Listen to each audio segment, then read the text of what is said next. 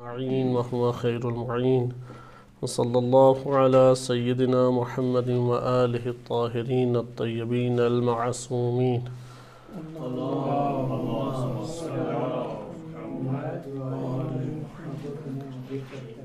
नहज बलागा से सियासत अमीरमिन वसलाम का मौजू आपकी खिदमत में पेश किया जा रहा था गुज्त दर्स में आपके सामने अमीरमिन के दौर के मसाइल को ज़िक्र करते हुए मुक़दमता हमने हज़रत उस्मान का नजबलागा के तनाजुर में जायज़ा लेना शुरू किया। हज़रत उस्मान को चूँकि नहजबलागा में ज़्यादा ज़िक्र किया गया है, क्योंकि नहजबलागा हमारे पास एक ऐसी किताब है जिसमें ज़्यादातर हिस्सा अमीरमिन के दौर हुकूमत का है।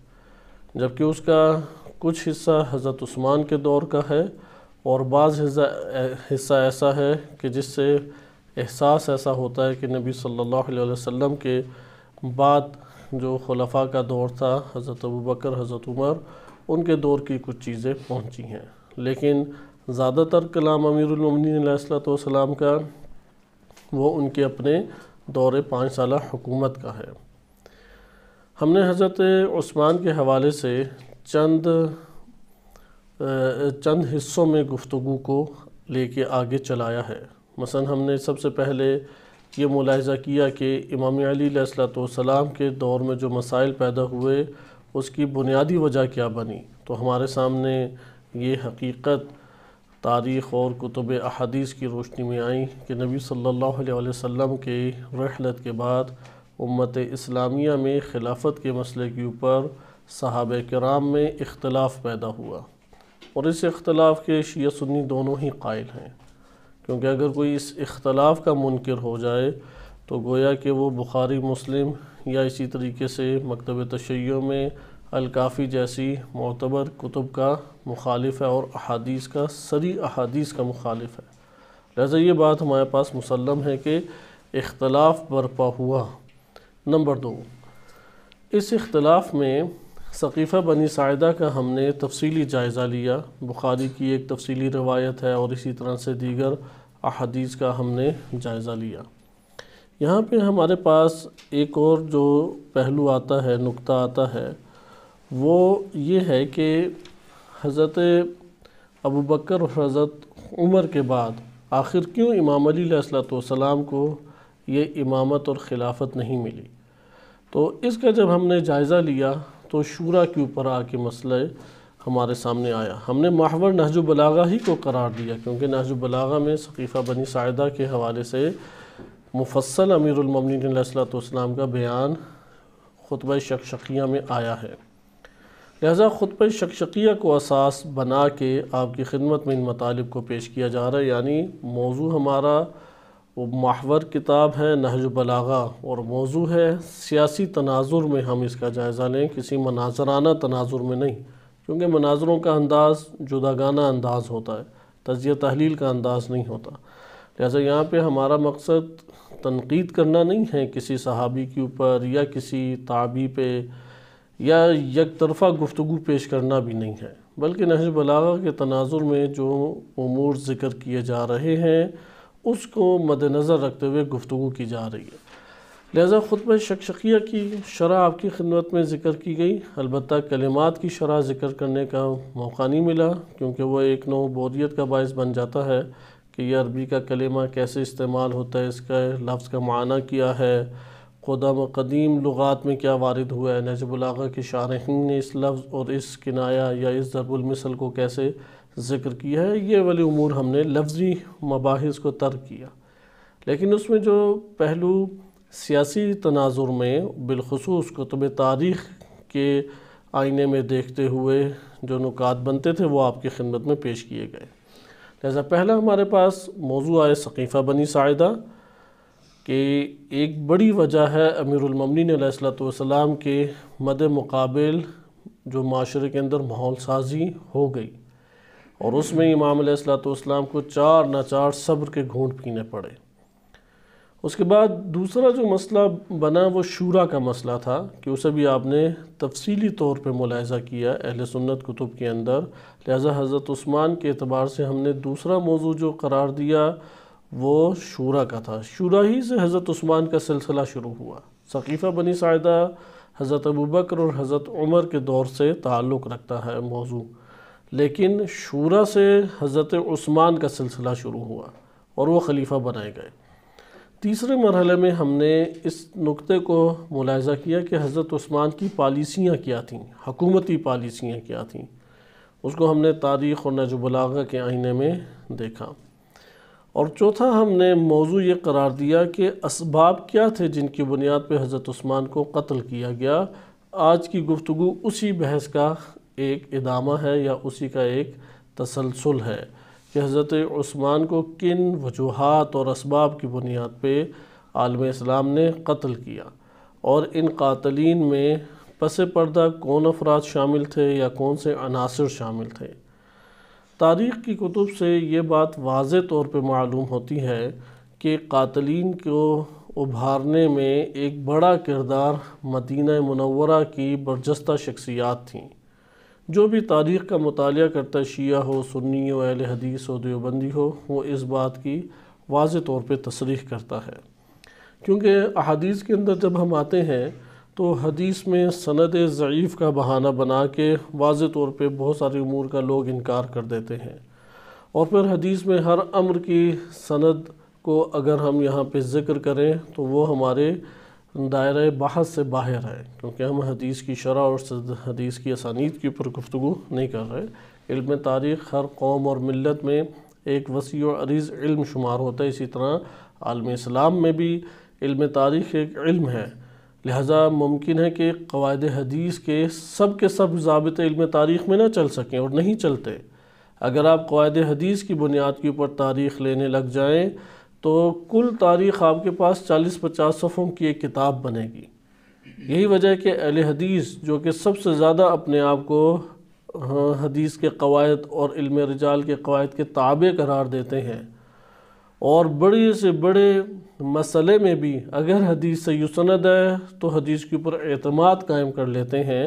मसन जैसे अल्लाह सुबहान ताली की जिस्मानियत का इकरार जो है वो इबन तैमिया ने इसी हदीस की बुनियाद के ऊपर कर लिया।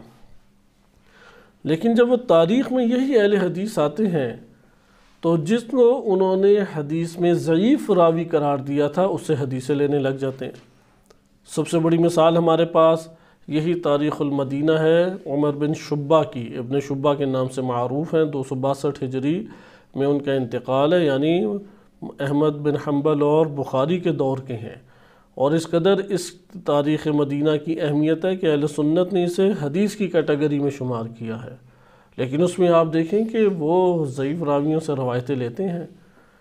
हती कि अहल हदीस की तरफ़ हम आ जाएँ, क्योंकि ये जो तीसरी, चौथी सदी हिजरी के हैं, इनको कम ही लोग अहल हदीस का टाइटल देना चाहते हैं। इसे अहल सुन्नत अपने अमूमी तौर पर सारे अहल सुन्नत मसालिक उन्हें अपने कहते हैं। लेकिन बाद में तो बाज़ अफराद वाज तौर पर अहल हदीस कहलाए। मिसाल के तौर पर इबन कसीर दमिश्की, मरूफ अहल हदीस आलिम हैं। अलबिदाया व नहाया किताब लिखी, उर्दू तर्जमा मौजूद है। गालिबा वो ऐप में भी, मोबाइल ऐप में भी मौजूद है। आप उसमें देखें, उन्होंने वाकदी से बहुत सारी रवायतें ली हैं। इसी तरह माजी में चले जाएँ, इबन साद ने वाकदी से रवायतें ली हैं। इबन मखनफ से रवायतें ली हैं। दोनों को उन्होंने ज़यीफ़ हदीस में करार दिया, लेकिन तारीख़ में बेशुमार अदीस उन, उनसे तारीख़ी हक़ लेके आते हैं और उस पर अहतमाद करते हैं। नबी सल्लल्लाहु वसल्लम के अतबार से या दीगर हवाले से। ये तो एक पहलू हो गया, लेकिन इधर हम ये नहीं कहते कि जो कुछ तारीख़ में आए वो काबिल कबूल। ऐसा असलन हमारे लिए किसी सूरत भी कबूल नहीं है, न नशियों के लिए, न सुनियों के लिए। खसूस तबरी है, उसमें बहुत सारी चीज़ें जहाँ पे कराइन की बुनियाद पे दुरुस्त साबित होती हैं, वहाँ काबिल तरास चीज़ें भी कसर तादाद में मौजूद हैं। इसी तरीके से तबक़ात इबन साद है कि कदीमी तरीन किताब इस हवाले से है। उसमें बहुत सारी ऐसी काबिल तरास चीज़ें मौजूद हैं और काबिल कबूल चीज़ें भी मौजूद हैं। सवाल पैदा होगा, फिर क्या जबत है तारीख़ से चीज़ें लेने का? हमारे पास तारीख़ से अमूर लेने का जो सही जबता है, वो जबता तजिया तहलील है। हम तजिया तहलील करें। इसके ऊपर शीन मतहिर रहमत के अफकार में तफसीली तस्करा गुजर चुका है कि एक तारीख़ नकली होती है, एक तारीख़ इल्मी होती है और एक फ़लसफ़ तारीख़ है। आप जब तक तारीख़ को फ़लसफ़ तारीख़ के मरहले पर नहीं पहुँचाते, ये आपको कोई ख़ास नफ़ा नहीं देगी। तारीख़ नकल करके लेने का कोई फ़ायदा नहीं है, फ़लाँ किताब ने ये कहा, फ़लाँ ने ये कहा, फ़लाँ ने ये कहा। मुमकिन है सबने झूठ कहा हो। और इसी तरीके से आप मुख्तलिफ़ कराइन जब लाते हैं तो वहाँ से तारीख़ को कुछ आपस में तकवीत पहुँचती है। इसकी मिसाल हम इस तरीके से भी ले सकते हैं, जैसे ये मसाइल हम पढ़ रहे हैं, हज़रत उस्मान के कत्ल के हवाले से। अब इबन शुबा ने एक रवायत नकल की है कि अमीरमिन सलाम ने इमाम हसन व इमाम हुसैन को हज़रत उस्मान के घर की हिफाजत के लिए भेजा और बनी हाशिम के चंद अफराद को भेजा। तो जब वो आ गए तो यहाँ पे फिर दूसरी तरफ़ से मतलब बाज़ शख्सियात थी जिनमें मोहम्मद इबन अबी बकर नाम आता है या कनाना बिन बिशर नाम आता है, उन्हें, उन्होंने आपस में बातचीत की कि जल्दी किया जाए। वाइल्ला ये बनी हाशिम के अफराद हमें ये अमल अंजाम नहीं देने देंगे। इसलिए लोगों ने अचानक हमला भी किया और ख़ूब दिफा किया इमाम हसन व इमाम हुसैन सलाम ने। लेकिन इसके बावजूद ये आगे बढ़ के हज़रत उस्मान को कत्ल करने में कामयाब हो गए और फिर शोर एक मिच गया कि खलीफा कत्ल कर दिए गए। इमाम अलीम को इतला मिली तो इमाम अलीम तशरीफ़ लाए और आके एक ज़ोर से थप्पड़ मारा इमाम हसन को और एक बुरा भला का इमाम हुसैन आसमाम को कहा कि क्यों हिफाजत नहीं की? अब ये जो एक अक्कासी आपके सामने पेश होती है, यकीनन ये काबिल कबूल नहीं है। आई एक किताब में है, इब्न शुबा के अलावा किसी ने ज़िक्र नहीं की। और एक रावी से है, इब्न सुमय नाम है, कि जिनकी हमने गुज्त दर्स में तवील एक रिवायत, हदीस पढ़ी, हज़रत उस्मान के हवाले से जो काबिल तराज़ चीज़ें थी। अब वो यहाँ पे सवाल पैदा होता है कि एक तरफ़ तो आप उसी रावी की बात को नकल करते हुए हज़रत उस्मान पे तनकीद कर रहे हैं और दूसरी तरफ़ वही रावी जब ये वाली बात करता है तो आप यहाँ पे इसकी बात को कबूल नहीं करते। तो क्या अपने नफसानी रुझान और मिलान के मुताबिक आप चीज़ों को इख्तियार करते हैं? तो यहाँ पे हम वही बात करेंगे कि तारीख़ को तजिया तहलील से लिया जाए। हमने जो उस मतन का इंतखब किया, उसमें ये नहीं कहा कि जो कुछ लिखा है वो दुरुस्त है। क्योंकि वो एक अच्छी जमबंदी हुई हुई थी और उसमें जो सईद बिन मुसैब के हमने इनवान से पढ़ी, ये भी सईद बिन मुसैब के ऊपर ही ख़त्म होती है, लेकिन इसमें दो रावी, दोनों रवायतों में दो रावी वो ज़यीफ़ ज़यीफ़ हैं, जिसकी वजह से ज़यीफ़ सनद हो जाती है। बिलखसूस इबन सुमई कि इसके बारे में वाज तौर पर कोई वारद नहीं हुआ, मजहूल रावी है और रवायत ज़यीफ़ है। हमने वहाँ पे भी हदीस को या उस वाक़े को सईद बिन मुसैब की इनमान से फ़कत नहीं ले लिया था, बल्कि चूँकि उसके शवाहद तारीख़ी कुतुब में और अदीस की कुतुब में कसर थे, इसलिए उस जमबंदी को बयान किया गया। और उसकी ख्वाहिश थी कि आज के दिन भी हमें मौका नहीं मिलेगा कि उसके बाद हवाला जात हम पढ़ लें, लेकिन बाद हवाला जात आस्ता आस्ता आएँगे इन ताला। शिया सुन्नी दोनों कुतुब में आएँगे। क्योंकि अगर हम हर उस वाक़े के अगर मुस्तंद ले के उसकी अरबी इबारत पढ़ के ज़िक्र करते तो हर एक जुमले के ऊपर फिर एक अलग दर्स बन जाता, वो हमारे मौजू से बहस निकल जाती क्योंकि हम नज बलागा के दायरे में जायज़ा लेना चाह रहे हैं। अब इस जगह पे इंशाल्लाह अभी हम इसको भी देखेंगे, अगर हमें फ़ुर्सत मुहैया हुई, आया वाक़ इमाम अली सलाम ने इमाम हसन व हुसैन सलाम को भेजा हज़रत उस्मान की हिफाजत के लिए या नहीं भेजा? क्योंकि तारीख़ के बाद ऐसे हमारे पास नमूने मौजूद हैं कुतुब में, जिससे ज़ाहिर ये होता है इमाम इस्लाम बिल्कुल गैर जानबदार रहे और उन्होंने नहीं भेजा। लेकिन बाज़ ऐसे तारीख़ी हमारे पास शवाहद आते हैं जिससे लगता है कि भेजा। अब इन दोनों में से कौन सी बात दुरुस्त है? हम इसके तजिया तहलील के लिए नहजबलागा की तरफ़ रुजू करते हैं। इमाम अली सलाम ने जितनी जगहों पे मसलन तेरह चौदह जगहें हैं जहाँ पे हज़रत उस्मान का तस्करा मौजूद है, हम उस तस्करे को तमाम की तमाम मवारद को पढ़ेंगे, क्योंकि जो जो चीज़ नहजबलागा में आएगी, हम कोई मौरद नहीं छोड़ेंगे उसमें। मसलन माविया नबी सुफियान का भी सिलसिला जंग सफ़ीन में शुरू होगा तो जहाँ जहाँ तस्करा है वो हम पढ़ेंगे। इसी तरीके से हज़रत उमर का जहाँ जहाँ तस्करा हुआ, उसको हम पढ़ेंगे। दो जगह अभी रह गई कि रोम और ईरान के जब जंग शुरू थी तो जो मशवरा दिए इमाम ने, वो पहलू रह गया, लेकिन आगे इन ताला किसी मौरद में आएगा। लेकिन हज़रत उस्मान के मसले को इसी तरीके से हम देखते हैं। आपने मुलायजा किया कि हज़रत उस्मान की बैत जब शुरू हुई तो उस वक्त इमाम अली सलाम ने बयान फरमाया था और ये नजबलागा में कलाम नंबर चौहत्तर है, सेवेंटी फ़ोर। हमने अभी एक मकाले में ये सारे के सारे हवाले जमा कर लिए हज़रत उस्मान के हवाले से। जितनी भी गुफ्तु नहजबलागा में मौजूद है, उसको हेडिंग अभी नहीं बनाई जा सकी, वो भी वहाँ बन जाएगी।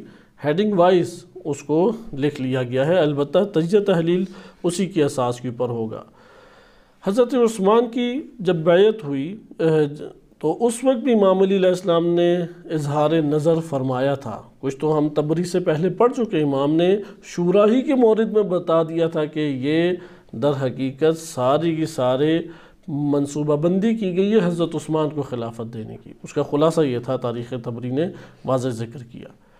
इसी तरह से जब हज़रत उस्मान की बैत शुरू हो गई तो अमूरममिन ने फरमाया था, लक़द आलम तुम अन्नी अहकुन्नास से बिहा मिन गैरी। कि तुम लोग बेहतर जानते हो, अच्छी तरह से जानते हो कि खिलाफत दूसरों की नस्बत मेरा हक़ है। और कसम बखुदा जब तक मुसलमानों के अमूर का नज़म नस्ख बरकरार रहेगा, और सिर्फ़ मेरी ही ज़ात में जुल्म ज़ोर, और मेरी ही ज़ात जुल्म ज़ोर का निशाना बनती रहेगी, मैं खामोशी इख्तियार करता रहूँगा। इस जुमले को पहले भी तकरार किया जा चुका है। ये जुमला हमारे लिए तजिया तहलील के अतबार से बहुत अहमियत रखता है। माजी में भी हज़रत उस्मान से पहले भी, हज़रत अबू बकर, हज़रत उमर के दौर में भी इमाम अली इस्लाम का मौक़ हज़रत उस्मान के दौर में भी इमाम का मौक़ और बाद में आयमासम ने क्यों खरूज नहीं किया, उसमें भी इमाम का मौक़ में ये नुकता बिलखसूस तजिया तहलील के लिए ज़रूरी है। वो क्या है? खुदा की कसम वल्ला ला उसलिमन्नमा सलिमत उमूरमसलमिन जब तक मुसलमानों के अमूर का नज़म नस्क इसी तरह से सलामती के साथ सालिम रहेगा, सही चलता रहेगा, मैं अपने हक़ के लिए कुछ भी इकदाम नहीं करूँगा। सही लाउसलमन्ना मैं भी सलामती के साथ इसी तरीके से रहूँगा। वलम यकन फ़ीहा जौरन। और जल्ला ख़ासता जब तक फ़कत मेरे ऊपर जुल्म होता रहेगा। यहाँ पे इमाम उसे शरी हैसियत नहीं दे रहे। क्योंकि जो पहला जुमला बोला, उससे कोई इस्तफ़ादा करके कह सकता है अमीरमिन ने वाज तौर पे कह दिया कि नज़म नस्ख सही चल रहा है तो अब मेरी ज़रूरत ही नहीं है असलन। नहीं, उसे शरी जवाज़, कानूनी जवाज़ नहीं दिया। क्योंकि ये जुमला आप पहले पढ़ चुके हैं कि हमने आगाज़ में जब ये मौजू शुरू किया था और सियासत अमीरमिन की तनाजुर में बयान किया था कि क्या मौक़ है, सियासत किसे कहते हैं इमाम अली की निगाह में? तो इमाम ने फरमाया था और ये जुमला आपने मुलाहजा भी किया था कि जुल्म कुफ्र के साथ तो हुकूमत चल सकती है, लेकिन जुल्म ज़ोर के साथ हुकूमत नहीं चल सकती। लिहाजा मुमकिन है कि बहुत सारे मसाइल जजवी तौर पर पैदा होते हैं, लेकिन अगर नज़म नस्क चल रहा है और क़ानून जो है वो लागू है तो रियासत चलती जाएगी। माशरे जो है वो खड़े हो जाएँगे। माशरों में अमन अमान बरकरार होगा।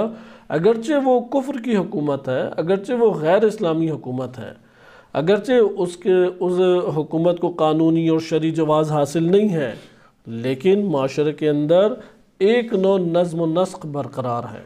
तो इमाम फरमाते हैं, जब तक ये नज़म नस्क बरकरार हो सकता है तो मैं अपनी ज़ात के ऊपर जुल्म को बर्दाश्त कर लूँगा। सही है? अल्तमास अजर का व ही कि अल्लाह सुबहान ताली से इस सब्र के ऊपर मैं अजर का खासगार हूँ और उसके फ़ज़ल का चाहता हूँ। व जहदन फ़ीमा तनाफ़स तमूह मिन ज़ुखरुफ़ ही व ज़बरज ही और जिस ज़ेबतन के ऊपर तुम लोग मर मिटे हो, उसको मैं अपनी ठोकर पे रख के उससे आज़ाद हो जाऊँगा। मुझे उसकी हुकूमत की, इस नबूत नुमाइश की ज़रूरत ही नहीं है। बल्कि एक जगह पे इंशाल्लाह आज आएगा, एक और ख़ुतबे में कि इमाम के ये जुमलात हैं कि ये हुकूमत जो है, मैं असलन लेना ही नहीं चाहता। मेरे अलावा जाओ, किसी और को ये दे दो, किसी और को अपना अमीर बना लो। अगर तुमने मुझको दिया तो मैं अपने इल्म के मुताबिक इसको चलाऊँगा। और फिर जो कानून और अदल का नाफिज करूँगा, उसके ऊपर सख्ती से अमल करवाऊँगा। तो अभी वो इन ताला बयान आएगा। इसी तरह इमाम सलाम ने हज़रत उस्मान के दौर में जितने भी अमवाल लूटे गए थे, उन सबको पहली फ़ुर्सत में वापस लौटाया बैतुलमाल से, ये भी आप खुतबे के जुमलात सुन चुके हैं। फिर जो हालात बिगड़ते चले गए जब तो नहजबलागा में अमीरमिन सलाम के ये जुमलात आपने गुज्त दर्स में सुन लिए कि मालूम होना चाहिए शैतान ने अपने ग्रोह को भड़काना शुरू कर दिया है और अपनी फ़ौजें फराहम कर ली हैं। जुल्म अपनी इंतहा की हद तक पहुँच चुका है और बातिल अपने मकाम पर पलट आया है। अल्लाह की कसम, उन्होंने मुझ पर कोई सच्चा इल्ज़ाम नहीं लगाया। इसकी फिर तशरी आपके सामने लगाई गई, बनाई, बताई गई थी कि जैसे ही इमाम को खिलाफत मिली, तहमत लगा के इमाम के ख़िलाफ़ उन्होंने महाज खड़े कर दिए। और वो तहमत क्या थी? हज़रत उस्मान को इमाम अलीसम ने कत्ल किया।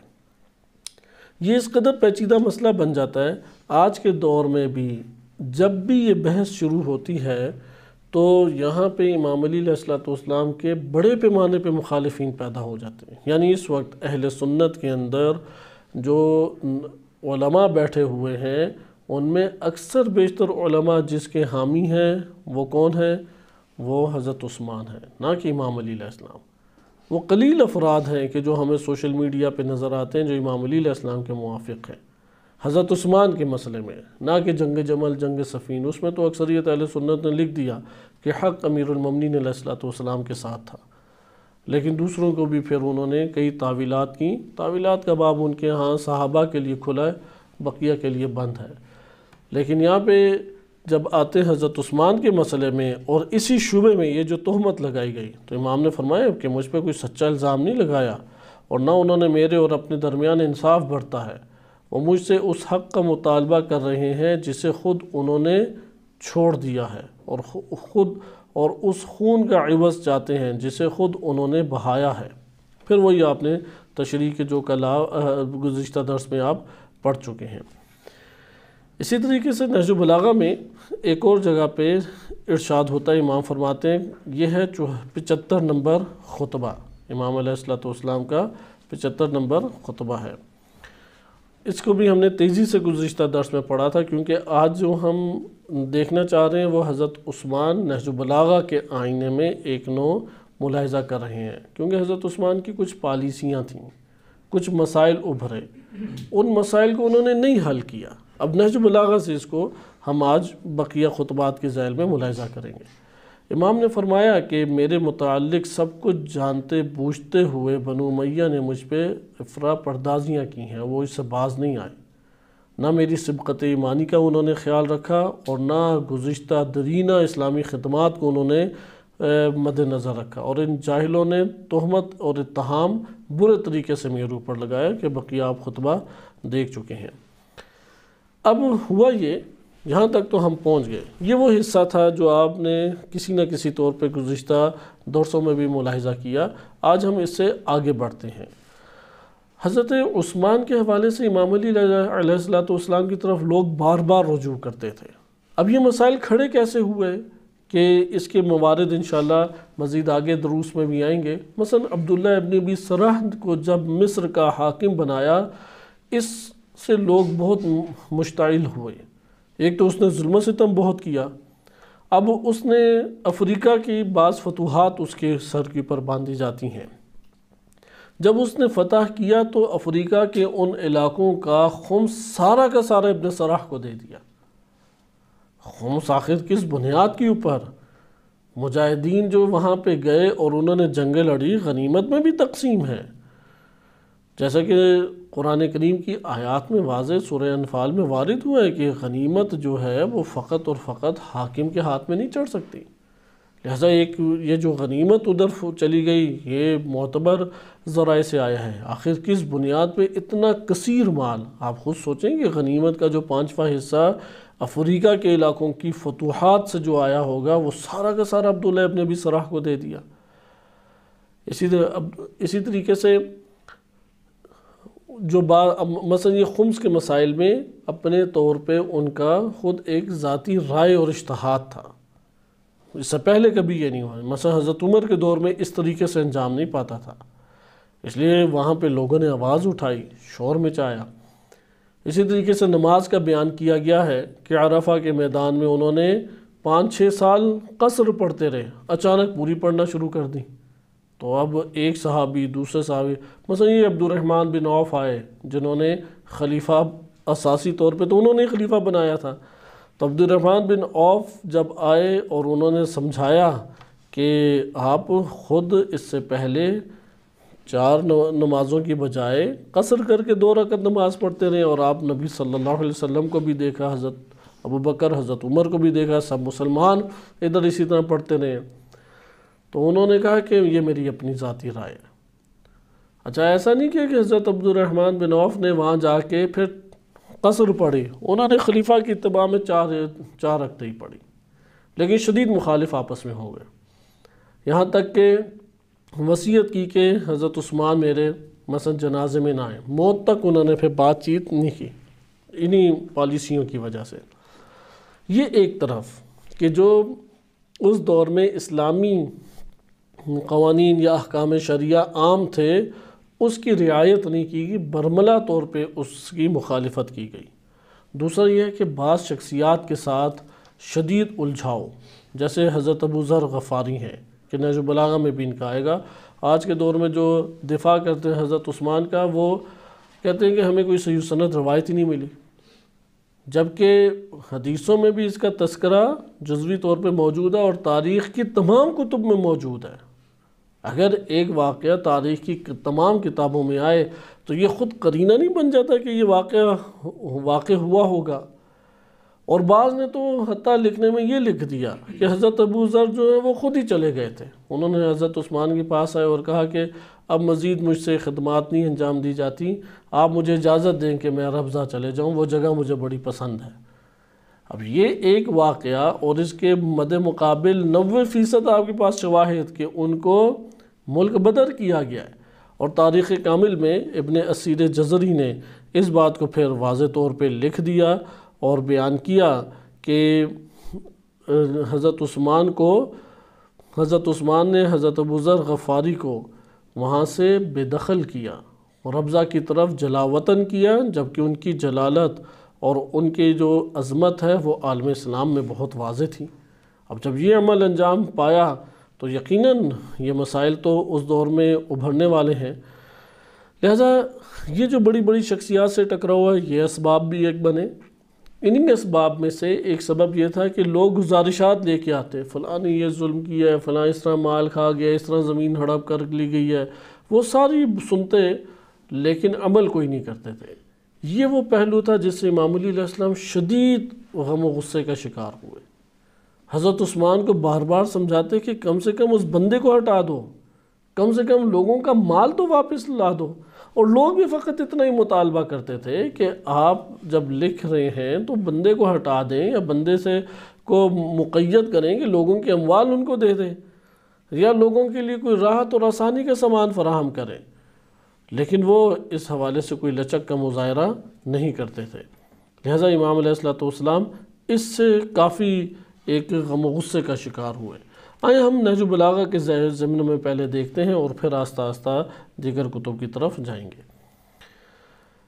इमाम इस्लाम के दौर में जब लोगों ने इमाम सलाम यानी उनके कत्ल होने के बाद उनकी तरफ़ बैत करना चाहिए कि ये मौजू दोबारा हमारे पास लौट के आएगा, लेकिन तेज़ी से ये इबारत आपके सामने बयान कर दी जाए। तो तब इमाम सलाम ने लोगों से बयान किया, क्योंकि अब हालात सामने आ चुके थे, लोग भड़क उठे हैं। इमाम सलाम ये नहीं चाहते थे कि पहले भी अर्ज़ किया कि हज़रत उस्मान इस जगह पे कत्ल हो जाए, लेकिन ये भी नहीं चाहते थे कि हज़रत उस्मान के जो शिकायत लोग लेके आते हैं, उसमें वो हज़रत उस्मान का साथ दें। और सफ़ाई पेश करें। क्योंकि बिलाखिर लोगों की शिकायत बरहक थी बहुत सारे मवारत में। जैसे अब्दुल्ला बिन अभी सरा है, या सईद बिन आस के ख़िलाफ़ है, या वलीद बिन उकबा के ख़िलाफ़ है, या बसरा के अंदर, और फिर एक ये भी मसला हुआ कि वो जिन अफराद के साथ हज़रत उस्मान खिलाफत के ऊपर आए थे आस्ता आस्ता पकड़ के सबको इस साइड पर कर दिया। अबू मूसा अशरी हैं, उन्हें निकाल दिया बसरा से। और इसी तरीके से साद बिन नबी वक़ास है, उससे भी खिलाफत को ले लिया। यानी जो गालिबा कोफा की विलायत दी गई थी। या अब्दुल्ला बिन मसूद के साथ जो झगड़ा हुआ, उसमें अब्दुल्ला बिन मसूद की शदीद मुखालफत की उन्हें उनके अहदे पर रहने दिया, लेकिन मुखालफत की। या इस तरह से उन्होंने फिर आस्ता आस्ता सारे के सारे हुक्काम को बदल के फ़कत बनु मैया के अफराद को ले आए। कोई खालाजाद लगता है, कोई रज़ाई भाई है, जैसे इबन अभी सराह रिज़ाई भाई था। अच्छा सईद बिन आज क्या था? खालाजाद था, कज़न था। वलीद बिन उकबा, वो भी उन्हीं के ख़ानदान से बनता है। आमिर बिन करीज़ है, पच्चीस साल जवान है। उसे बसरा का हाकिम बना दिया बाद में। तो आमिर बिन करीज़ जब आया तो उसके ख़िलाफ़ भी लोगों ने एहतजाजात किए। और फिर क्या वलीद बिन उकबा को बनाया तो लोगों ने तो बहुत एतराज़ किए कि इससे बुज़ुर्ग तरीन साहबा मौजूद हैं। इसको क्यों बनाया? तो कहा कि लोग इसे बड़ा चाहते हैं। लोगों को ये बड़ा पसंद है, मुझ तक खबरें पहुँची हैं। वो कई बनु मैया वाले मिल के गए होंगे, कहेंगे कि लोग बड़ी इनकी तारीफ़ें कर रहे हैं तो उन्हें बना दिया। और फिर हटाते नहीं थे आराम से। मसला वलीद बिन उकबा को बामुश्किल हटाया। यहाँ पे भी तारीख़ में वलीद का ज़्यादा अहतमाम किया, ज़िक्र किया कि कैसे सज़ा मिली। और उसमें फिर बाज़ वाक़ात हैं जो इमाम हसन मुशतबा के हवाले से हैं, जो ज़्यादा मोतबर नहीं हैं।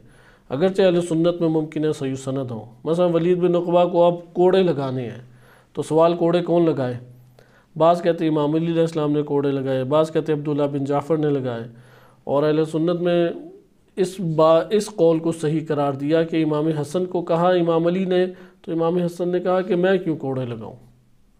ये तो इन्हीं को ख़ुद इकदाम करना चाहिए, इसलिए मैं तो नहीं कोड़े लगाता। तो इमाम बड़े गुस्से हुए और इमाम हसन को दो चार डांट डपट करते हुए सुनाई और फिर अब्दुल्ला बिन जाफ़र को कहा कि आप आगे बढ़ें। ये हमेशा तबरी और तारीख़ को उठाएँ। वो इमाम अली इमाम हसन का आपस में टकराव दिखाते हैं और शदीद टकराव कि बड़ा बेटा उनकी बात नहीं मानता था। लेकिन आप जब शिया कुतुब की तरफ़ आएँ तो आपको बिल्कुल इसी तरह से इमाम हसन मुशतबा मुती नज़र आते हैं। जैसे करबला में हज़रत अबुलफ़ल अब्बास इमाम हुसैन के मुती नज़र आते हैं। या जिस तरीके से आपको अम्मार जो है, इमाम अली के मुती नज़र आते हैं।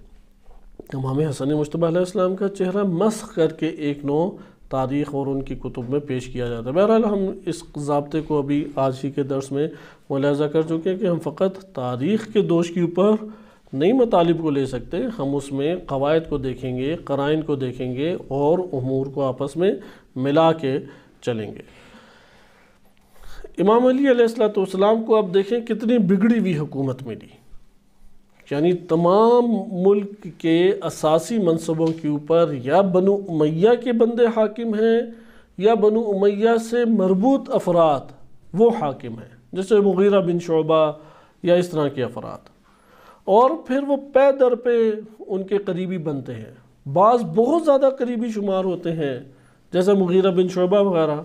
बाज़ थोड़े दर्जे के दूर शुमार होते हैं, जैसे अबू मूसा शरी वगैरह।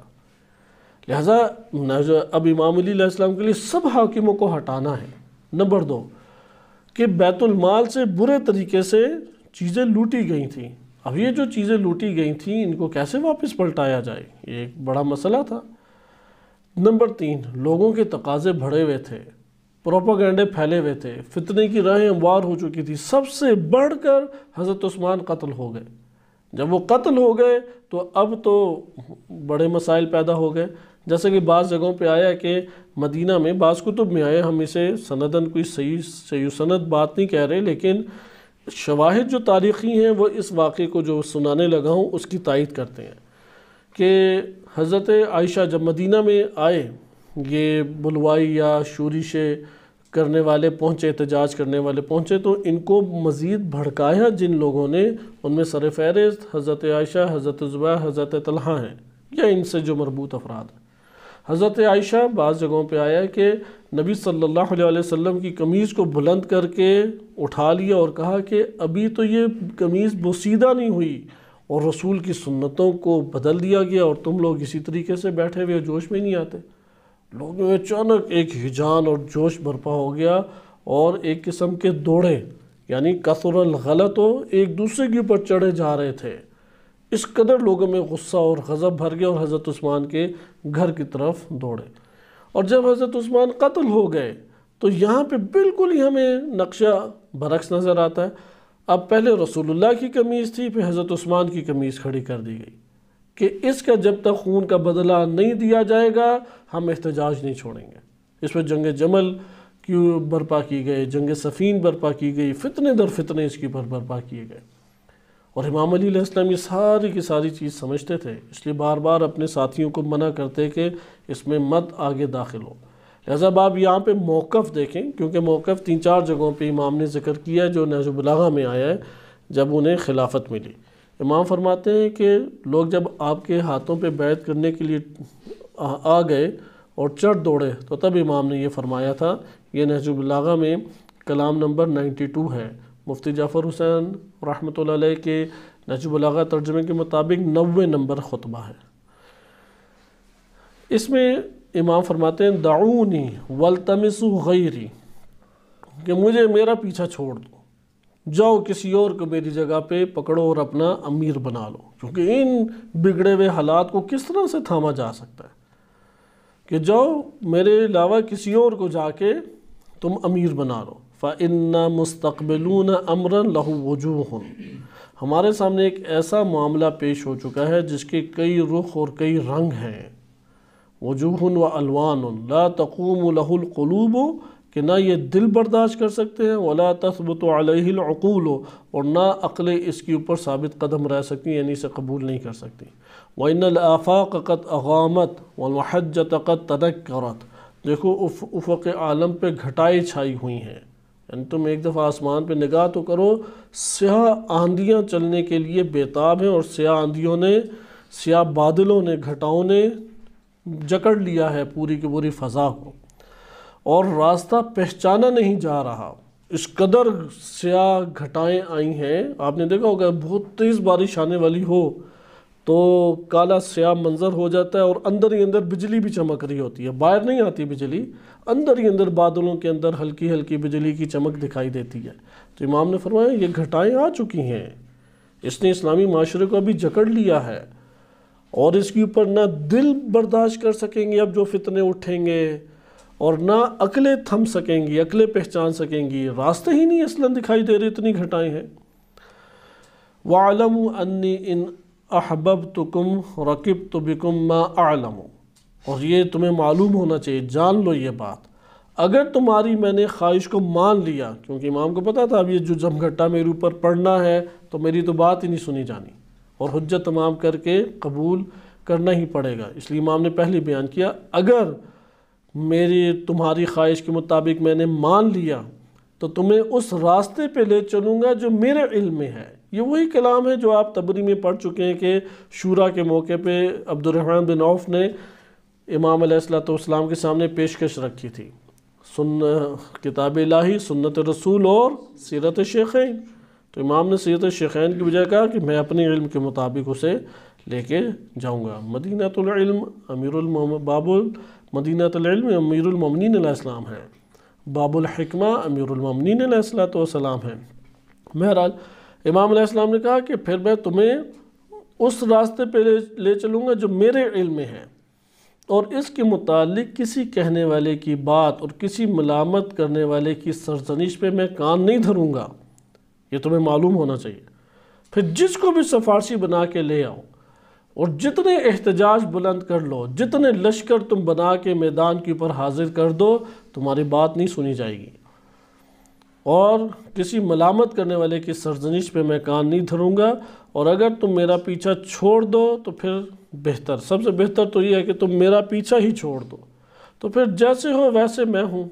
जैसे तुम लोग करोगे वैसे वैसे मैं भी जिस तरह सबका तीन खुलफा को माना है तो इसके साथ भी हम मदद करते हुए चलेंगे। और हो सकता है कि जिसे तुम अपना अमीर बनाओ, उसकी तुमसे ज़्यादा मैं सुनूँ। और मेरा तुम्हारे दुनियावी मफाद की खातिर अमीर होने से वज़ीर होना बेहतर है। ये जुमला बहुत भारी है कि आज की सियासत में किसी को वोट देने का मैार किया है कि हमें बिजली देगा, ज़िंदानों से आज़ाद कराएगा, हमारे पेट भरेगा, अच्छी जॉबें लगाएगा बड़ा मुल्क को मॉडर्न बना देगा ख्वाब दिखाते हैं। क्योंकि बेचारे भूखे को ख्वाब दिखाए जाएँ तो उसकी अकल ही मऊफ होकर रह जाती है। हमारे सारे सियासतदान पाकिस्तान के हालात को जानते हैं, इसलिए उन्हें पता है कि ये बेचारे तरसे हुए सत्तर साल के अवामनास इनको आपने तस्वीर ही दिखाई तो ये आपको वोट दे देंगे। तो खान साहब भी अब वोट दे आए। उनके प्रचार करने वाले जितनी भी मजहबी शख्सियात थीं, शिया, सुन्नी, सारे ही दिन में कई दफ़ा उसे लानते भेजते हैं आप। एक मरतबा नहीं, नाम आता है तो तकरार के साथ लानते उनके मुँह से निकलती हैं। क्योंकि उसने मुल्क को पहुँचाया भी ऐसी जगह पे और गिराया अपनी शख्सियत को ऐसी जगह पे। ये आल सऊद वाले उसके ख़िलाफ़ हो के चार सुना देते हैं, ये भी बैठ जाते हैं। फिर जब उसको दूर से दीनार दिखाते हैं तो वो चीफ साहब को पकड़ के वहाँ पे फ़ौर उनके कदमों में पहुँचे होते हैं। तो जैसा वो चाहते हैं, वैसा करते हैं। फिर उधर पकड़ धकड़ की अजीब सूरत हाल है। महँगाई तो कई सालों में इतनी नहीं बढ़ी थी जितनी आज के दौर में बढ़ गई। कि बलक उठे हैं अवामनास न खाने, न पहनने, न पीने। कोई चीज़ें मौजूद नहीं हैं। बकिया ने तो कुछ ना कोई तरक्याती स्कीमें चलाई, इधर तो कोई स्कीम भी नहीं चली हुई। वो चार साल अब पूरे होने वाले हैं, कोई स्कीम भी नहीं चली हुई। और बातें जब आएँगी, वो सुन्नत रसूल, मदीना, क्योंकि जयाल ने भी इसी तरह ग्यारह साल हुकूमत की थी। लेकिन जयाल के साथ एक बड़ी तादाद थी, इधर तो अब मौलवी भी उसका साथ छोड़ गए। ऐसा यहाँ पे भी इमाम सलाम ने फरमाया कि मेरा तुम्हारे दुनियावी मफाद की खातिर अमीर होना इससे हज़ार गुना बेहतर है, मैं वज़ीर किसी का रहूँ। मैं अमीर नहीं बनना चाहता कि तुम्हारी दुनियावी ख्वाहिशात, तुम्हारी दुनियावी में तकाज़े पूरे करने लग जाऊँ। नहीं, मैं अल्लाह की खातिर लाना चाहता हूँ, यहाँ पे हुकूमत को लेना चाहता हूँ, मज़लूम को, उसका हक़ देना चाहता हूँ, जुल्म को ख़त्म करना चाहता हूँ, अदल को नाफिज करना चाहता हूँ। ना कि तुम्हारे मफादात, मफाद की खातिर यमन की जो कत्ल गारत आल सऊद ने की है, उसके ऊपर खामोशी अख्तियार कर ली जाए, आल सऊद की हिमायत की जाए, या इसी तरीके से और दीगर मसाइल हैं तो ये ऐसे मफादात को अमीरमिन की शख्सियत कबूल नहीं फरमाती थी। ये वो खुतबा है कि जिससे आपने उसूल देखे कि इमाम की हुकूमत के और कबूलियत के असूल क्या थे। या इससे पहले आपने जो जुमला इमाम सलाम का मुलायजा किए कि ये वो असूल हैं जिनके ऊपर दर हकीकत तजिया तहलील होती है। और इमाम ने वाज तौर पर फरमाया था कि अगर तुम लोग खिलाफत का हक़ तो पहुँचता है, लेकिन मैं जुल्म सितम अपने लिए बर्दाश्त कर लूँगा, माशरे के दौ पे नहीं लगने दूँगा। ये हमारे पास बहुत सारे उन एतराज़ात के जवाबात हैं कि जो इंसानी जहनों में पैदा होते हैं। अमीरमिन से बेहतर कोई तलवार चलाना जानता है। इमाम सलाम के साथ बिलखसूस बनी हाशिम का कबीला तो उस दौर में मौजूद था। वो तो अभी मुंतशिर नहीं हुआ, जैसे बनु अब्बास मुंतशिर हो गए, बनु अब्बास वही बनी हाशिम है। लेकिन जब खिलाफत की बात आए तो वह बनु मैया से भी बदतर निकले। बनी हाशिम जब खिलाफत की बात आए तो जुल्म सितम में बनु मैया से भी गए गुजरे और पस्त निकले। लेकिन इमाम अली के दौर में तो ये बनी हाशिम उनके साथ जम थे। अब मार मौजूद हैं, सलमान हैं, मालिक हैं, मोहम्मद बिन नबी बकर हैं। एक बड़ी तादाद है जो जंग सफ़ीन के हीरोज़ हैं, वो सारे के सारे मौजूद थे। लेकिन इमाम अगर लश्कर कशी कर देते, होता क्या? फिर ना माशरा इस्लामी बाकी रहता और ना दीन इस्लाम बाकी रहता। आपस में ही कश्तकार होता और ये जो आपस में लड़ाई झगड़ा है, बाहर का दुश्मन और अंदरूनी दुश्मन, ये दोनों ही मुसलत हो जाते। जैसे इमाम का ये ये जो दो जबते आपके सामने बयान किए जा रहे हैं अमीरमिन सलाम की रहलत रसूल के बाद की ज़िंदगी, ता शहादत, उसके कुछ जबते अपने जहन नशीन कर लें। रहलत रसूल सल्लल्लाहु अलैहि वसल्लम से लेके ता शहादत जो ज़िंदगी अमीरमिन की गुज़री है हती अपनी खिलाफत के दौर में, उसमें तजिया तहलील करते हुए इन बाज़ को अमीरमिन के जहन नशीन रखें। एक आपने पहले पढ़ा, और वो क्या है कि जब तक नज़म नस्क बरकरार होता है, मैं इसका हामी हूँ। यानी माशरे की हिमायत, उम्मत की हिमायत, उम्मत के इस्लामी वसी मफादात की हिमायत, वहदत की हिमायत। जैसे इस्लामी माशरे के अंदर नज़म ज़ब बरकरार रहना चाहिए। नंबर दो यानी ये जो पहला हमने कायदा पढ़ा, उसमें कहा, मेरी ज़ात पे जुल्म होते मैं बर्दाश्त करूँगा। लिहाजा इमाम सलाम ने अपनी ज़ात पे होने वाले मजालिम और अपने हक जो उनसे छीना गया, उसके ऊपर सब्र किया। लेकिन ये मकाम सब्र उनके लिए नहीं है कि उम्मत के अंदर तफरीक डल के कत्ल गारत शुरू कर दी जाए और माशरे ना अमन बना दिए जाए। नहीं ना अमनीत कबूल नहीं है।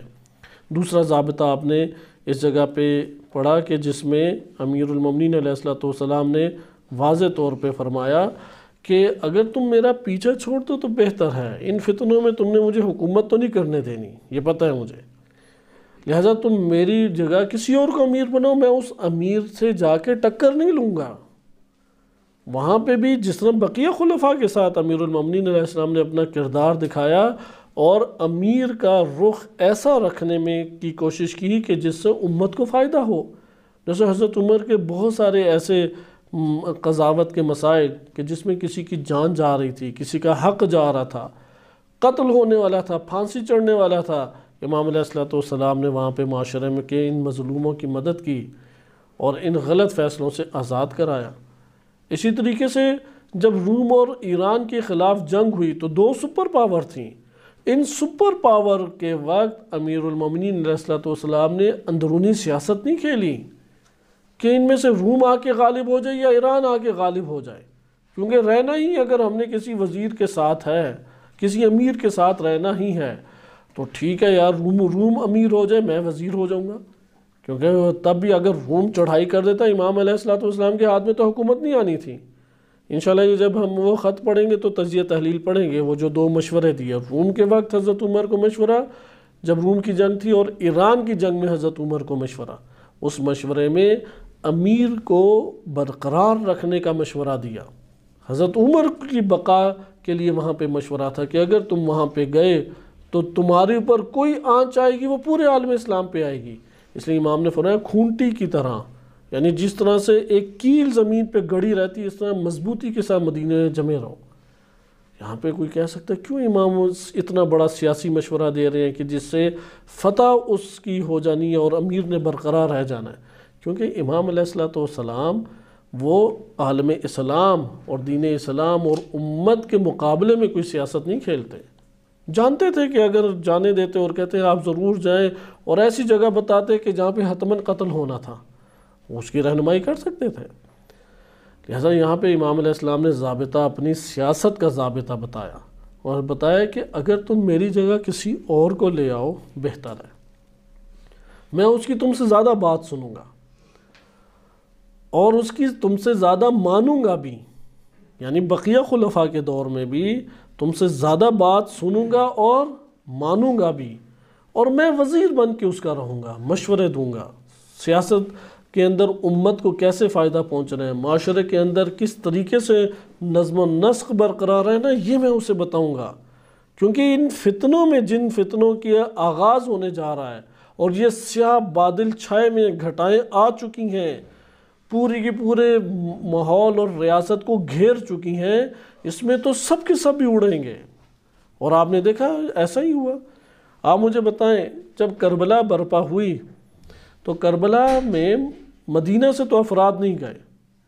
अब जब मदीना से अफराद नहीं गए तो क्या मदीना वाले बच गए?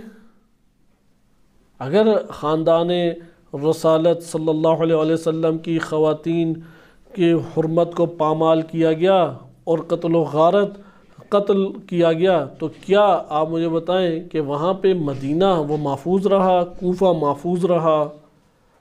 या वहाँ पे भी वाक़ हुर्रा आपके सामने है? न मक्का की हरमत बाकी रही, ना मदीना की हरमत बाकी रही। कोई भी शय बाकी और महफूज नहीं रही। लिहाजा इस जगह पे हमारे सामने फ़ैसला वाज हो जाता है और सियासत अमीरमिन सलाम भी हमारे लिए आश्कार हो जाती है। और वो क्या है कि अगर फितने ऐसे बरपा हों रियासत के अंदर कि उस रियासत से उम्मत इस्लामिया ही वो दो चार हो जाए, कत्ल गारत फैल जाए, ना अमनीत आ जाए, मज़ीद हालात बदतर हो जाए। तो उसमें इमाम फरमाते हैं कि इससे हज़ार गुना बेहतर है कि मुझे तुम वज़ीर बनाओ और मैं वहाँ पे तुम लोगों की ऐसी रहनुमाई करूँ कि नज़म नस्क बरकरार हो। ये तो हमारे सामने इमाम सलाम की एक तस्वीर थी। इंशाल्लाह इसको हम दोबारा पढ़ेंगे कि जब इमाम की बैत की गई। इमाम अलैहिस्सलाम हज़रत उस्मान को समझाते रहते थे और बाज़त बहस भी हो जाती थी, शदीद बहस हो जाती थी। हज़रत उस्मान के इर्द गिर्द उनके हवारी और हमनवा तो मौजूद थे जिन्होंने तारीफ़ करनी है बड़ी हिमायत दिखानी है।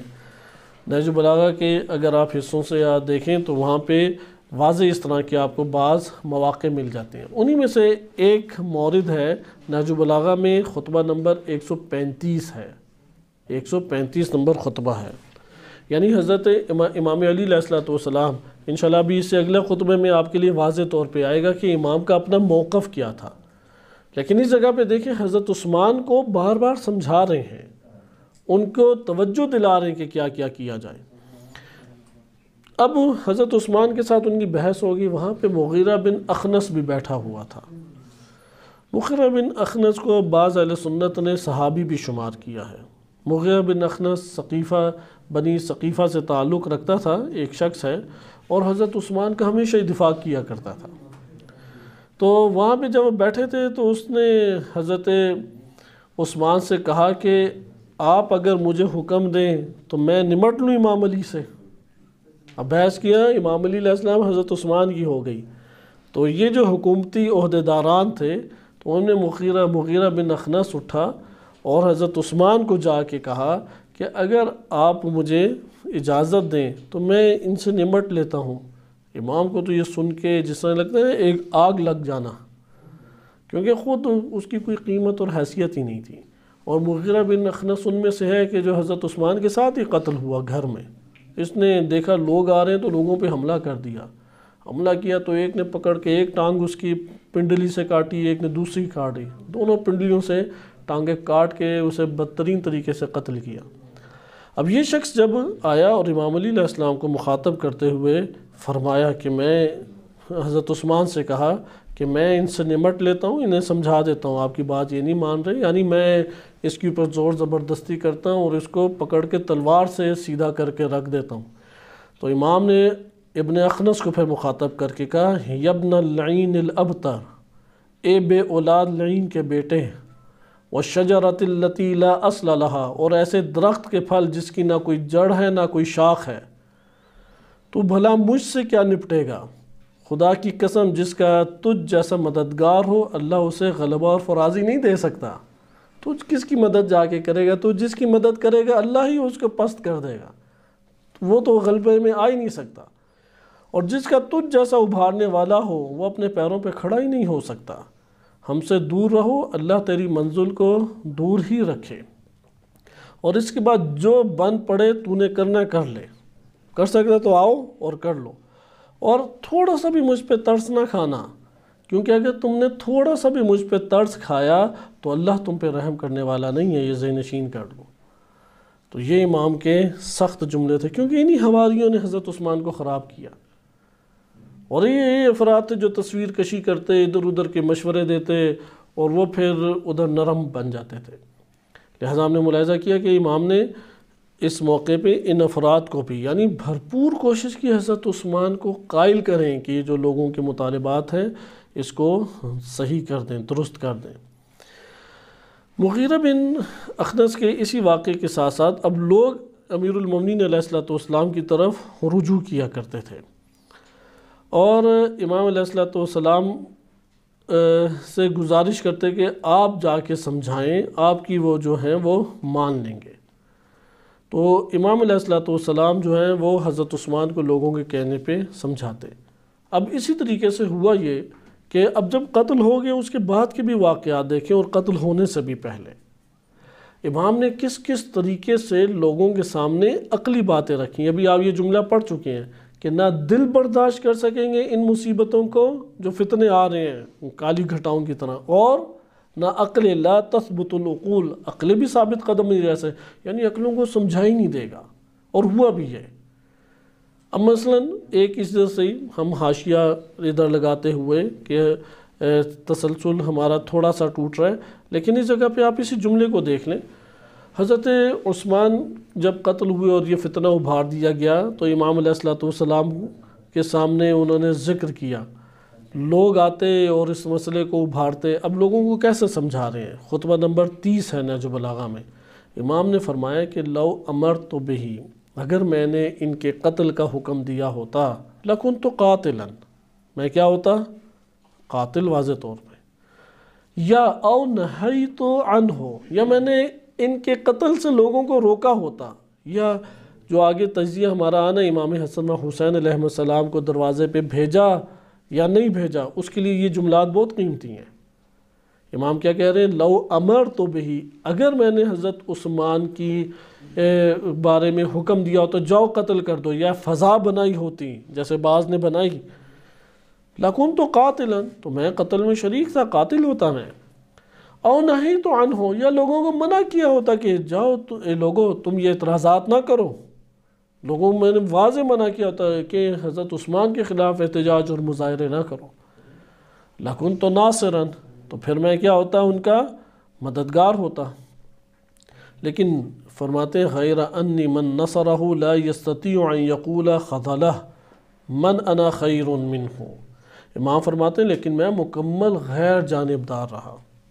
न इनका तरफदार था, लोगों का और न हज़रत उस्मान की पॉलिसियों का तरफदार था। मैं दोनों की तरफ़ से गैर जानबदार था। उनकी भी मैं जो हद से बड़ी हुई इफ़राती रविश है, जो एहतजाज करने वाले हैं, उनको भी समझाता और इधर भी जो अफराद से बड़ी हुई रविश है, इसको भी समझाता। यहाँ पे ये मतलब नहीं है कि बिल्कुल इमाम इस्लाम न्यूट्रल होके बैठ गए, लोग आके जो बोलते, इमाम बस खामोश बैठे रहते, कुछ करते नहीं। ये मुराद नहीं है, गैर जानबदार से मुराद। इधर गैर जानबदार से मुराद ये है कि दोनों की इफ़राती रविशों के ख़िलाफ़ थे।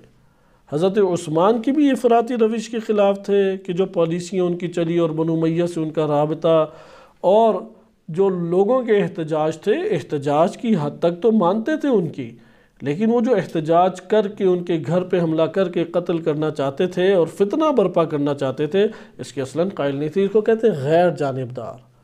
इसका ये मतलब नहीं है कि हज़रत उस्मान के तरफदार थे। हज़रत उस्मान के असलन पॉलिसियों के तरफदार नहीं थे, इसलिए इमाम ने फरमाया कि लेकिन मैं मुकम्मल, गैर जानबदार रहा।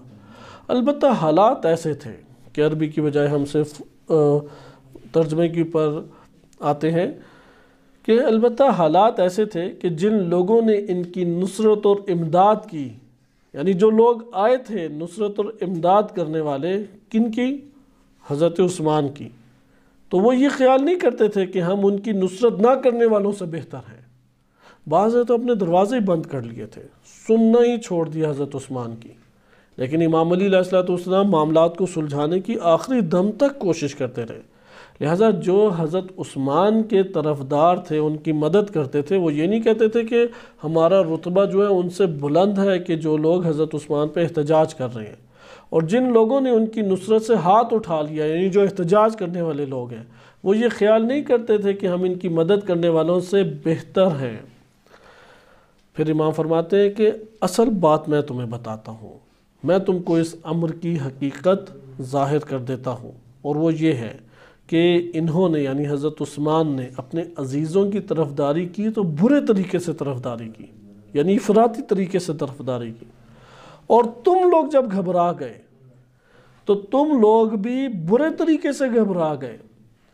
और दोनों फरीक़ों की बेजा तरफदारी करने वाले और घबरा के उठने वालों के दरमियान असल फ़ैसला अल्लाह ही कर सकता है।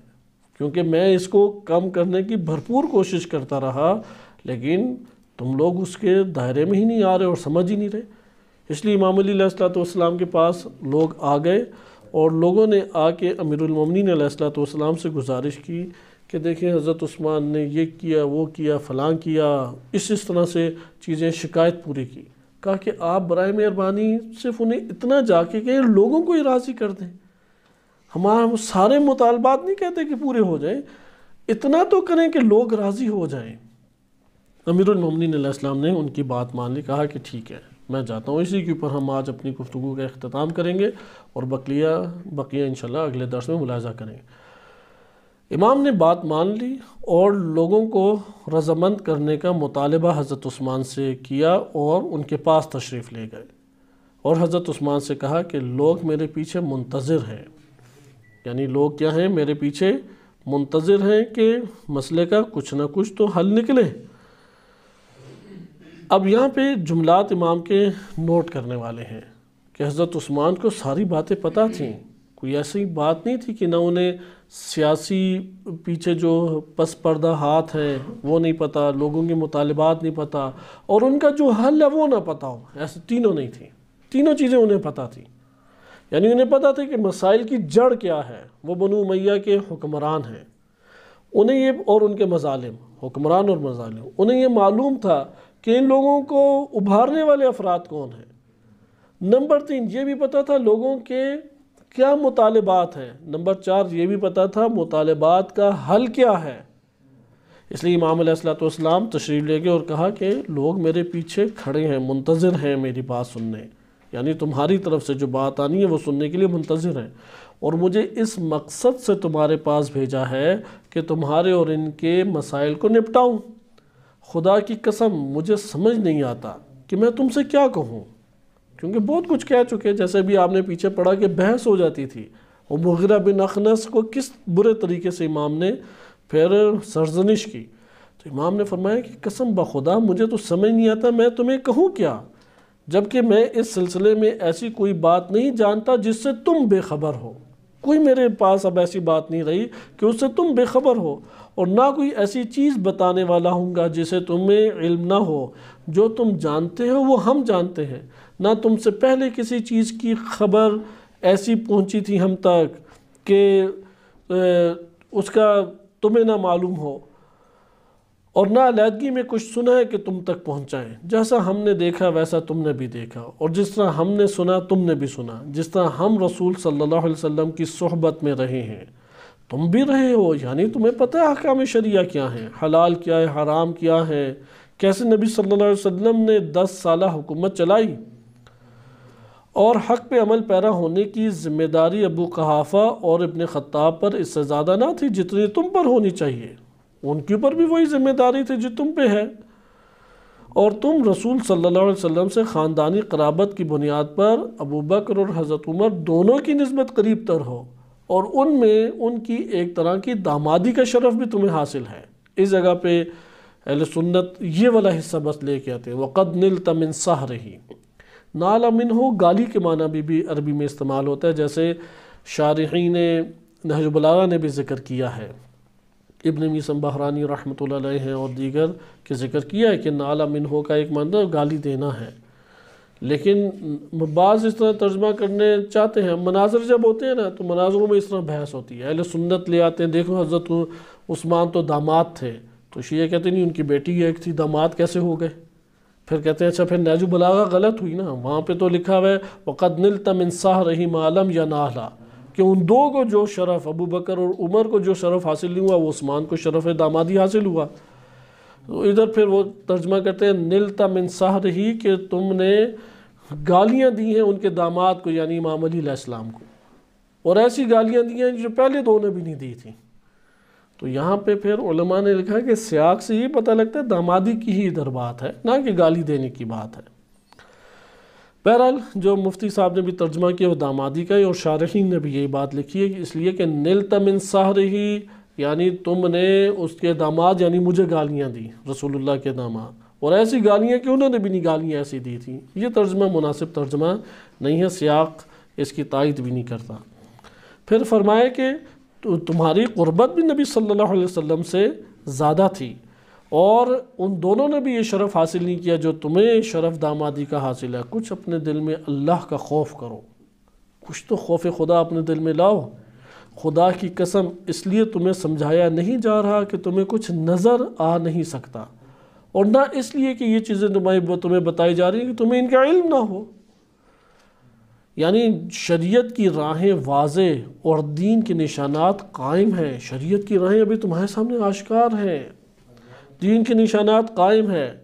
याद रखो, अल्लाह के नज़दीक सब बंदों से बेहतर, वो इंसाफ इंसाफ परवर, इंसाफ करने वाला हाकिम है, जो ख़ुद भी हिदायत पाए और दूसरों को भी हिदायत करे और जानी पहचानी हुई सुन्नत को मुस्तहकम करे और अनजानी बिद्दतों को फना करे। ये इमाम अली का उनके बारे में फिर खुतबा था और इसी के आगे फिर इमाम कहते हैं, सन्नतों की निशानात जम, जगमगा रही हैं और बिद्दतों बिद्दतों की अलामतें भी वाज हैं और अल्लाह के नज़दीक सबसे बदतर वो ालिम हुक्मरान है जो गुमराही में पड़ा रहे। और रसूल सल्लल्लाहु अलैहि वसल्लम की हासिल की हुई सुन्नतों को तबाह करे और काबिल तर्क बिद्दतों को दोबारा से ज़िंदा कर दे। यानी वो जो बिद्दतें ख़त्म हो चुकी थी, फिर ज़िंदा करे। मैंने रसूल सल्लल्लाहु अलैहि वसल्लम से सुना है कि उन्होंने फरमाया, क़यामत के दिन ालिम को इस तरह लाया जाएगा कि ना उसका कोई मददगार होगा और ना कोई उसका उज़्र खा होगा। खुद उज़्र खाई उसकी कबूल होगी और सीधा जहन्नम में डाला जाएगा और इसमें इस तरह चक्कर खाएगा जहन्नम में, जिस तरह चक्की घूमती है और फिर उसे जहन्नम के घेराव में जकड़ दिया जाएगा। मैं तुम्हें अल्लाह की कसम देता हूँ। तुम इस इस उम्मत के वो सरबरा ना बनो जिसे कत्ल ही होना है। खुदा रही ना बनो कि कत्ल ही उस सरबरा को किया जाए। चूँकि कहा गया है कि इस उम्मत में एक ऐसा हाकिम मारा जाएगा जो उसके लिए क़्यामत तक खून और रेजी का दरवाज़ा खोल देगा और इसके तमाम अमूर को इश्तबाह में डाल देगा और उसमें फ़ितनों को फैलाएगा और वो हक़, वो लोग हक़ को बातिल से अलग करके ना देख सकेंगे। और वो फितनों में दरिया की मौजों की तरह उल्ट पुलट किए जाएँगे, यानी उल्ट पुलट किए जाएँगे, सख्त तरीन तरीके से होते खाएँगे। और इन्हीं में तहबाला होते रहेंगे तो मरवान की सवारी ना बन जाना। सबसे बड़ा मसला जो इमाम इस्लाम को शिकायत थी हज़रत उस्मान से, वो यही थी। मरवान की एक नो सवारी बने हुए थे, यानी मरवान उनके नाम पे जो चाहता वो करता। जो सबसे सख्त तरीन उनके ऊपर एहतजाज किया गया था वो इन ताला अगले दर्स में आएगा कि हज़रत उस्मान ने अब्दुल्ला इबन भी सराह को नसीहतें की थी और एक नो कहा था कि ये सारे के सारे अमवाल वापस कर दो या इस तरह की बातें की थी। तो लोगों को कह भेजा कि मैंने उन्हें हटाने का कह दिया कि तुम लोग तुम थम जाओ या फ़लाँ फ़लाँ काम करो। यानी लोगों का जो मुतालबा था वो लिख दिया। अब जब लोग गए हैं तो वहाँ से एक बंदे को उन्होंने पकड़ लिया जो हज़रत उस्मान की तरफ़ से कासिद था। जो उधर जा रहा था। उन्होंने उसे पकड़ा, तलाशी ली तो कुछ नहीं निकला। उन्होंने उसकी गर्दन पे तलवार रख दी, फिर भी नहीं बोला। जब हल्के से चीरे आए, पता कि अब तो गया तो फ़ौर कह दिया कि हाँ मेरे पास उनका एक ख़त है। और ख़त जब निकाला तो उसके ऊपर लिखा हुआ था, ये जितने शिकायत लेके आए, ये जैसे ही पहुँचे, इन सबको पकड़ के कत्ल कर दो। उन्होंने जब ये पकड़ पड़ा तो वहाँ से फिर वापस पलटे मदीने। और फिर मौका हज़रत उस्मान को नहीं दिया। और वो लिखा था मरवान ने। और मोहर हज़रत इमाम गुस्से में वो ख़त लेके आए कि ये तुमने क्या फिर लिखा है? तो हज़रत उस्मान ने कसम खा के कहा, ये मैंने नहीं लिखा। कहा कि, ये मोहर तुम्हारी नहीं है। कहा कि, मेरी मोहर है। फिर वहाँ पे पता लगा कि ये मरवान ने लिखा। इसलिए इमाम ने फिर ये फरमाया कि, देखें, अब इमाम की नसीहत है कि तुम मरवान की सवारी न बनो वो तुम्हें जहाँ चाहे खींचता फिरे और जब तुम सन रसीदा भी हो चुकी और उम्र भी बीत चुकी है, आपको पता है ना कितने साल के थे? हश्तादो दो यानी एटी टू ईयर्स के, बयासी साल उम्र थी हज़रत उमर, हज़रत उस्मान की। इसमें हज़रत उस्मान ने कहा, आप उन लोगों से बात करें वह मुझे कुछ अरसे के लिए मोहलत दे दें। मैं उनकी हक तलफियों से अहदा बरा हो सकूँ। तो आपने फरमाया, जिन चीज़ों का ताल्लुक़ मदीने से है, उनमें तो कोई मोहलत की आपको ज़रूरत नहीं। वो तो फ़ौर जारी करें। अलबत् जो जगहें निगाहों से ओझल हैं और दूर हैं, उनके लिए इतनी मोहलत हो सकती है कि आपका फरमान वहाँ तक पहुँच जाए। ये फरमान पहुँच जाए, हज़रत उस्मान ने फिर अमल किया था। और मरवान ने फिर ये सारे अमूर अंजाम दिए कि इसको इन ताला अगले दर्स में मुलाजा करेंगे। सल्लल्लाहु अलैहि महमद